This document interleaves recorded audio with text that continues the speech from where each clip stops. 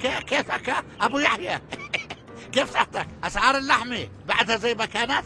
آه طبعا يا أخي مش رمضان. يا ابو أبو يحيى إيه، والله ولا عليك أمر. إيه، هيك إيه، شكفة كبدة إيه، تعطيها للبسة. حاضر يا أخي يا سمعة حاضر. أبو يحيى ولا عليك أمر بدها كمان إيه، شكفة يا بيا هالبسة إيه، اسمع أبو يحيى إيه، بدها كمان من لحمة الظهر هيك شكف صغير هيك. إيش ولا؟ ولا سمعة ورايح ولا؟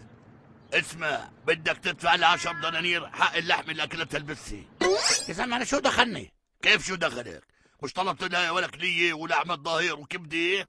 يا زلمة أنا ماليش دخل. أنا كنت بترجم لك شو كانت بتحكي معك البسة